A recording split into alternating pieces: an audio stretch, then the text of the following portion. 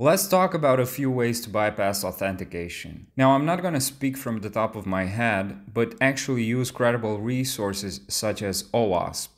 And I'm also going to link to a great resource at the end, so stick with me. First off, in the Web Security Testing Guide or WSTG, we've got four ways that can be used to bypass the authentication schema in web applications, and these are direct page request or forced browsing parameter modification, session ID prediction, and SQL injection. Let's go through each of them. First off, direct page request, which is also known as forced browsing and is exactly what you're thinking it is. So let's say that you have a protected page such as an admin page, which you normally access after authentication via a login panel.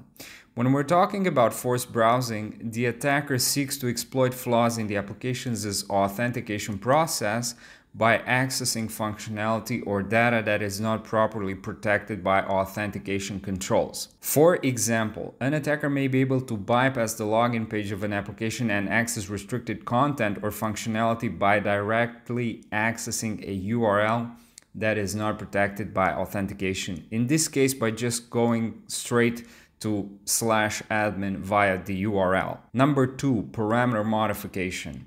Now, this example is very explicitly explained, if I can put it that way, by OWASP in that the issue appears when the application verifies successful authentication via fixed parameters, such as authentication or authenticated equals yes, logged in equals true, or even more serious cases such as is admin equals true. Now, if the attacker can manipulate these parameters by tampering with the request itself, the consequences can be devastating. Number three, session ID prediction.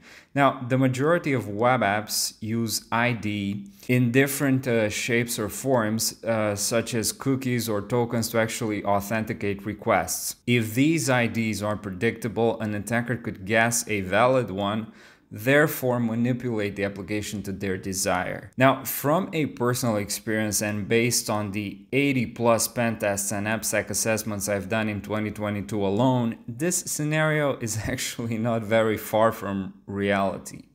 I've seen session IDs, tokens, and cookies of short length which with a little bit of effort could be guessed via an uh, algorithmic analysis. And one good way to actually test this is actually using uh, Burp Suite's sequencer. Number four, SQL injection. Now, I believe this method has been widely explained throughout the years all over the internet, and I'm only gonna briefly say that you can often bypass authentication by tricking the database, so to speak, via unsanitized input fields using payloads such as admin or 1 equals 1. This statement verifies as true in all cases, therefore you're actually tricking the database and you are randomly being logged in or you are logged in as a random user or in this case or in many cases as admin depending on the way the application has been implemented.